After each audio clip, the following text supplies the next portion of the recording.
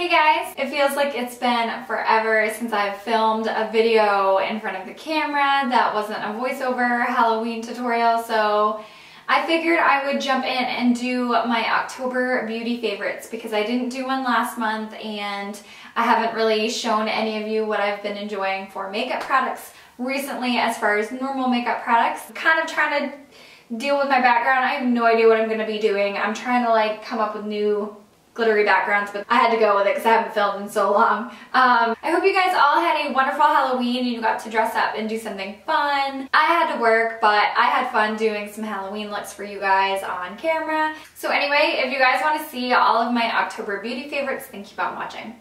I've been absolutely obsessed with this Kat Von D tattoo liner and I have mine in the black shade which is called Trooper. It's just a felt tip liner. It's got a really nice fine point so it makes getting that wing like super easy and super sharp and on point. If you had to touch up your eyeshadow, I did notice this kind of rubs off really easily. So I don't know if you would want to set it with like a gel liner or just use this to get the sharp tail or what. So if you're not going to disturb your eyelid, then it works fine. But if you have to go in and do some touch-ups, then it does kind of tend to flake off. But as far as the pigmentation and the ease of making a winged liner, this stuff has been bomb. The blush that I've been wearing nonstop through the entire month of October has been this Hourglass blush in Mood Exposure. It's an ambient blush, so it does have a swirl of the pigment in there as well as a swirl of the um, ambient lighting powder.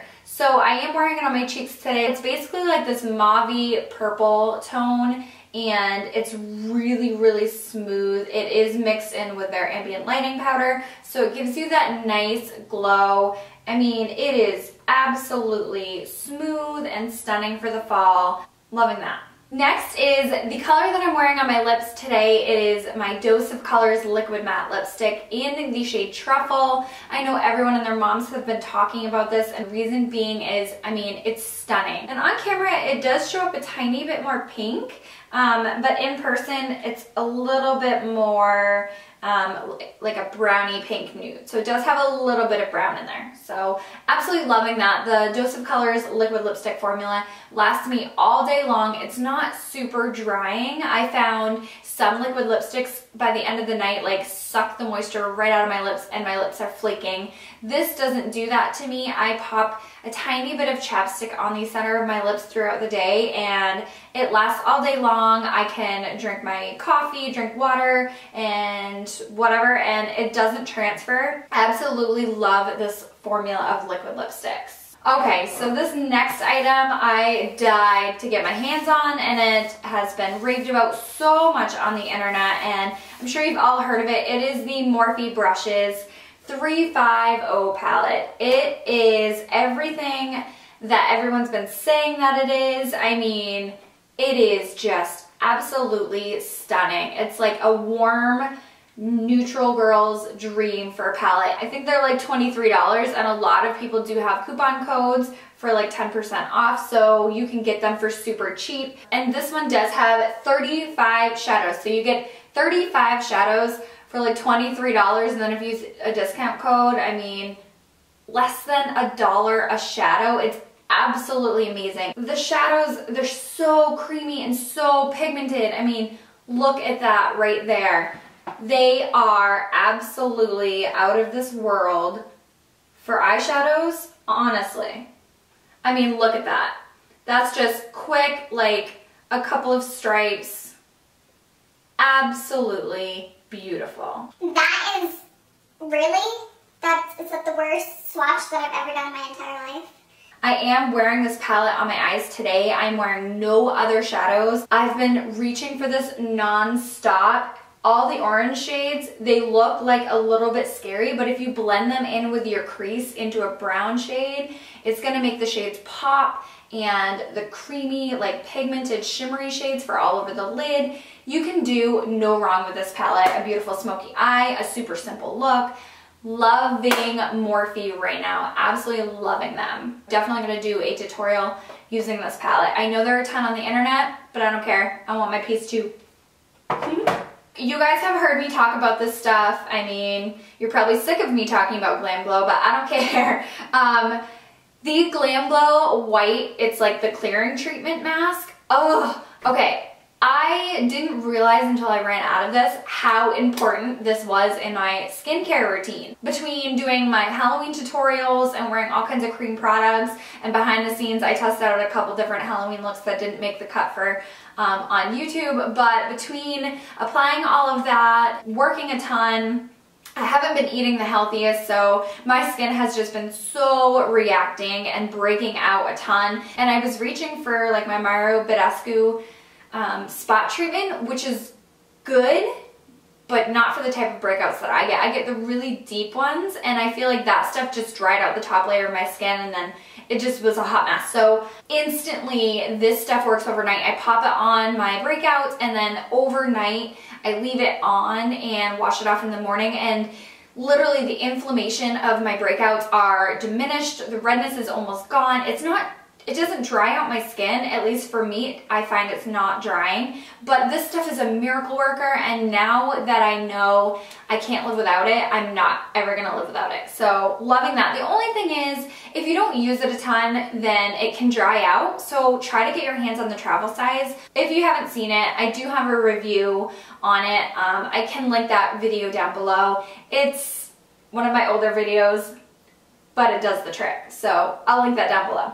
The next item that I've been loving is my, it's called Boulevard Mineral Cosmetics. It's the shampoo brush, shampoo, it's the brush shampoo and conditioner. I got this from morphebrushes.com and I found out about this uh, through, I think, Desi Perkins here on YouTube. She was raving about it on Snapchat and I had to get my hands on it. So I got my scent in lemongrass, it's just a very faint lemony fresh scent and oh, so I tried this out you guys and I'm not sure if you, any of you have the Beauty Blender, but you know it's kind of difficult to clean these things. Like the first couple times you clean them, they're great, but once you get some foundation like in it and concealer in it, they're kind of hard to clean. I get my Beauty Blender soaking wet underwater and I just run it underwater and swish it around in this stuff and it comes off like that, like a dream.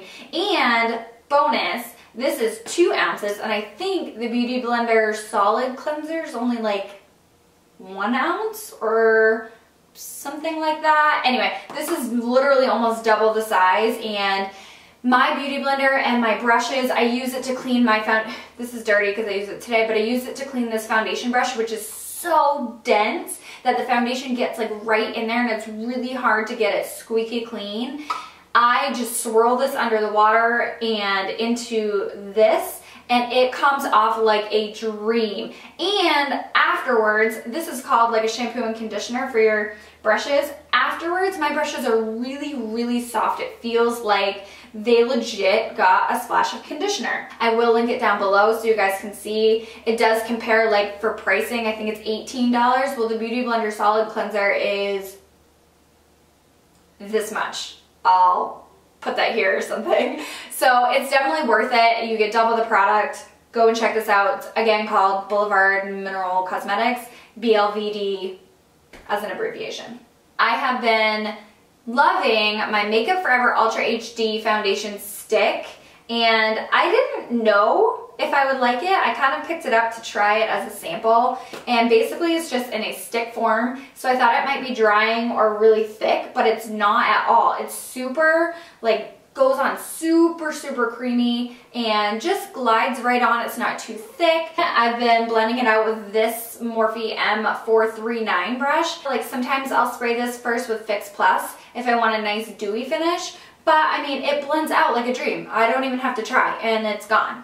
It doesn't, it's not like thick or anything. It just is absolutely amazing. For me right now, I'm really dry, so I can't tell you if it's super dewy foundation for someone who's oily.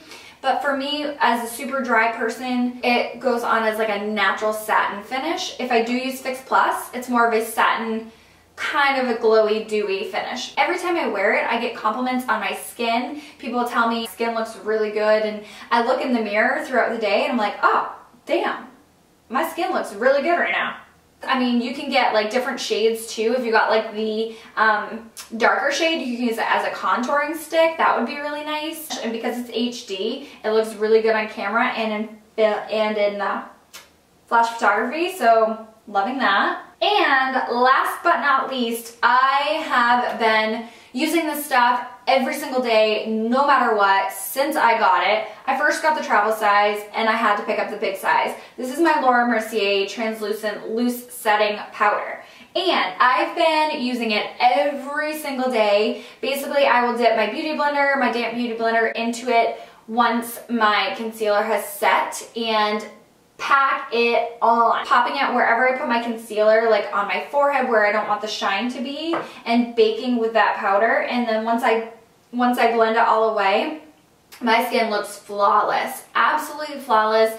The shine doesn't come through. I have a really like protruding brow bone right here that always catches the light and looks really shiny.